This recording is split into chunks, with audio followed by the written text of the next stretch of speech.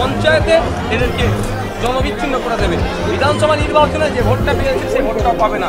এবং যতক্ষণ না পর্যন্ত এই সাম্প্রদায়িক আর মৌলবাদ আইএসএফকে যতক্ষণ না শেকড়টা ভাঙর থেকে আমরা উঠতে ফেলতে পারব ততদিন পর্যন্ত আমাদের এই লড়াইটা চলবে।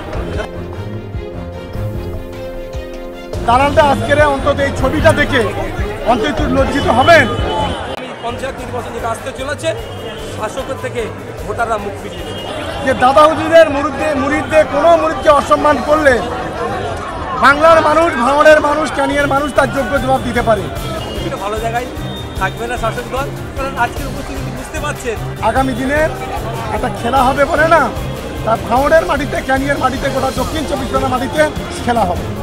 সমর্থক আজকে এত মানুষের সমাগম হয়েছে দেখুন আমরা আমাদের কর্মীদের একটা অনুরোধ করব কেউ বসে থাকবেন না। মৌলবাদের কাছে, সাম্প্রদায়িকতার কাছে মাথা বিক্রি করবেন না। সবাই বেরিয়ে পড়ুন, সাম্প্রদায়িক এবং মৌলবাদকে পরাস্ত করে।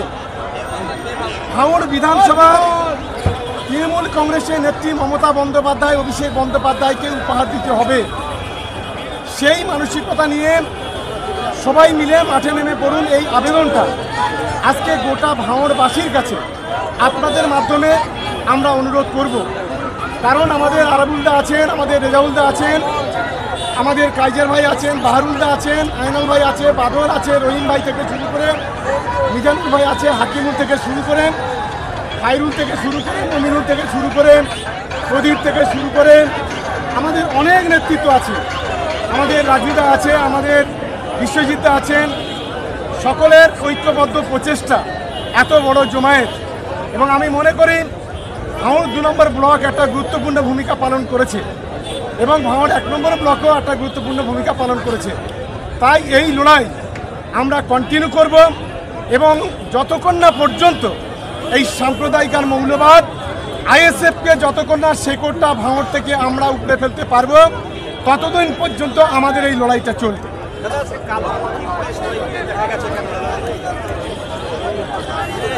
আপনাদের বলে দিলাম কেন আমরা আজকে করছি আমরা বলেছি ফুরপুরা শরীফে চারটে দালাল আছে।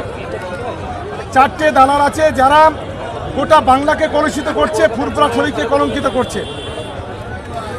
সেই দালাল দালালটা আজকের অন্তত এই ছবিটা দেখে অন্তত লজ্জিত হবেন যে দাদা হুজুরের মুরিদে মুরিদদের কোনো মুরিদকে অসম্মান করলে বাংলার মানুষ ভাঙড়ের মানুষ, ক্যানিয়ার মানুষ তার যোগ্য জবাব দিতে পারে। এটা আজকে তার একটা সামান্য এতটুকু নিদর্শন। আগামী দিনে একটা খেলা হবে বলে না তার ভাঙড়ের মাটিতে ক্যানিয়ার মাটিতে গোটা দক্ষিণ চব্বিশ পরগনা মাটিতে খেলা হবে। ঠিক আছে ছেড়ে দাও ছেড়ে দাও ছেড়ে দাও। এ এ পিও পিও পিও পিও।